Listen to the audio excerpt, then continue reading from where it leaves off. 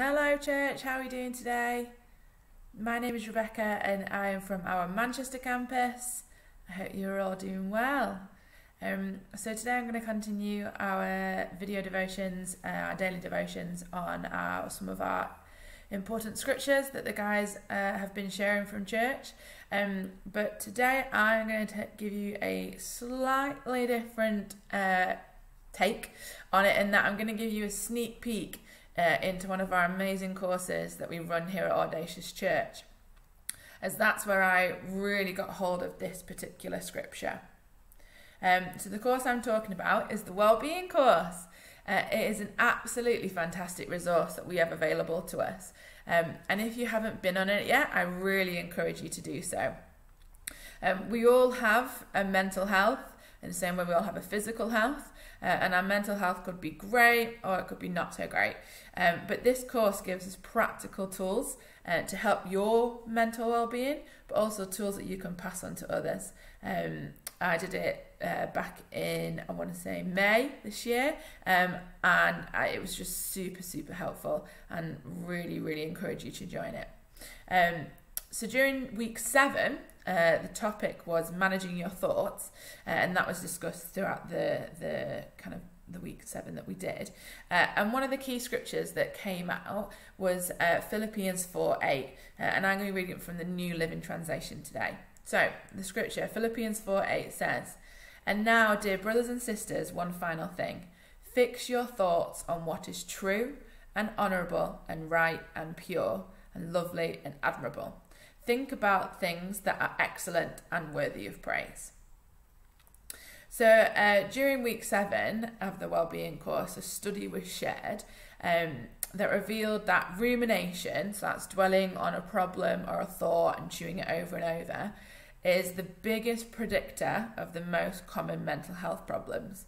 So, the BBC News states uh, the way in which things lead to depression or anxiety was by a person ruminating on and blaming themselves for a problem. So instead of us thinking about over and over about a negative situation, which can lead us down a track um, of poor mental health, um, of you know of what we could have done differently that it was my fault and and all that sort of negativity that comes from. Like the scripture says that we need to ruminate on what is true honorable right pure lovely and admirable. From these positive thoughts instead of negative thoughts praise will be the overflow and we all know that praise is the precursor to our breakthrough. Um, further into week seven of the course uh, we were given these super handy skills um, that I just wanted to pass on, especially if you're in a situation of ruminating over an, over, neg- over a negative thing. Um, so not only do we get given the scripture, which is the word of God, it is the truth and something that we can hold on to. Here's some really practical skills just to, to help you if you are in that situation right now.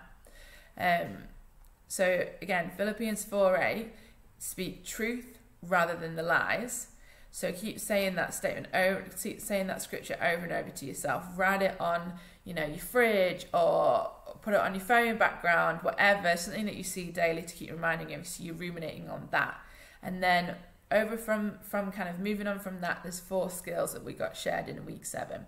So skill number one is let the negative thought pass you by. Um, like plates in a sushi bar. If you've ever been to a sushi bar, it's on like a conveyor belt. Just let it pass you by uh, and try and keep those negative thoughts doing that. Skill number two, take your thoughts to court and defend against the negative lies. Negative slash lies, sorry. Um, so if you think of something negative, take it to court and put the word of God against it. So use Philippians 4 8. Is this true? Is this honourable? Is this right? No, then it's it's negative. It's a lie, um, and defend it, and you know like like in a court like in a court scene that you see on the TV. Use that kind of analogy uh, in skill two, and then skill three: be kind to yourself. Um, you know, if you find yourself being negative about about yourself, take that to court. You know, let it pass you by. Do all those sorts of things. Also, remember just be kind to yourself. Speak nicely to yourself. And then skill four: Change your mental diet and ruminate what is on what is true, and that brings us right back to Philippians 4:8. Which I'm just going to read again for you. So Philippians 4:8. And now, dear brothers and sisters, one final thing.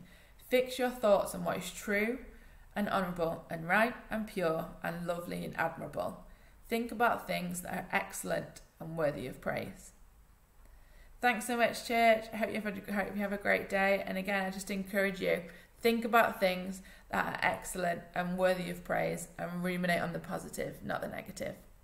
Thanks, church. See you later.